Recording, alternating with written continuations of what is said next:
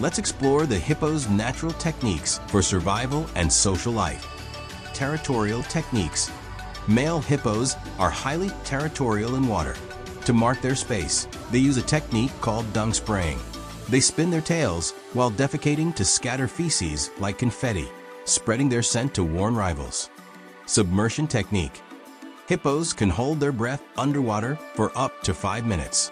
Their nostrils close automatically when they dive, and they even sleep underwater, rising to breathe without waking up a built-in autopilot.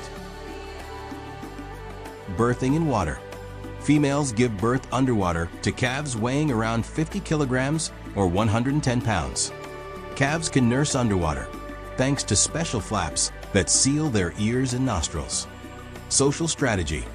Hippos live in groups called pods or herds, often led by a dominant male. Social grooming and bonding are common, with nuzzling and resting heads on one another being signs of trust.